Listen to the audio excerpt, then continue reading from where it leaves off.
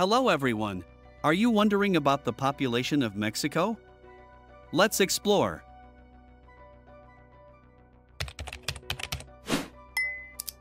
Mexico, a country in North America, has a population of about 128,456,000 people, ranking it 10th in the world.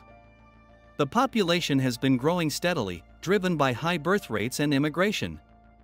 With a land area of 1,943,950 square kilometers, Mexico has a moderate population density of 66 people per square kilometer. This density reflects the mix of urban and rural areas.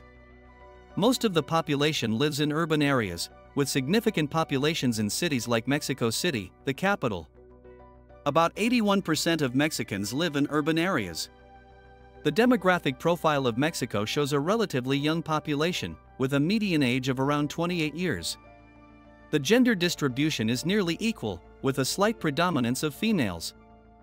Please like the video and if it was useful consider supporting us on Patreon.